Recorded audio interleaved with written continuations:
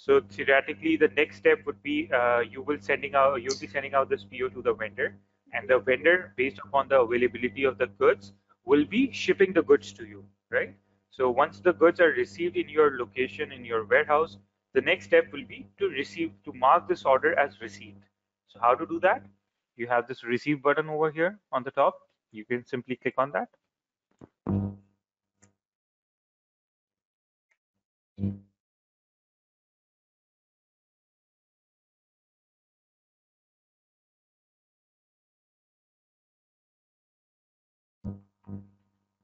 And this is going to open up an item receipt page for you. So this is where you are going to your warehouse person or the person who is receiving the goods will be uh, just verifying and validating the information. So notice that you will see that this is being created from purchase order 1897 1879 which was the po that we created. Uh, he can enter a memo he or she can enter a memo. They will notice that the department class is auto populated from the po record and here they can see the item that is on the PO. So now what they will do is they will physically count the goods. Uh, they will see how many goods were received on this PO. They will mark them as received. And once the quantity is validated, so let's say if they receive 10 quantities completely, they will select the quantity as 10 here. Now there might be a situation where the vendor might ship partial goods, right?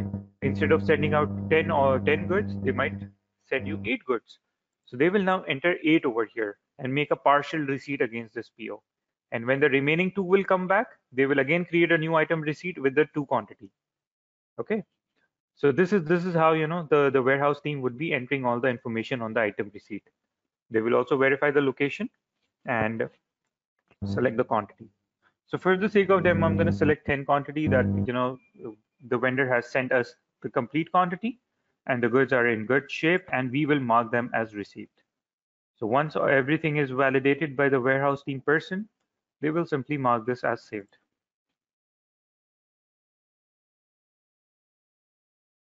And uh, now this transaction is saved and you will notice that my on-hand quantity is now also increased by 10 quantity that was received at this point.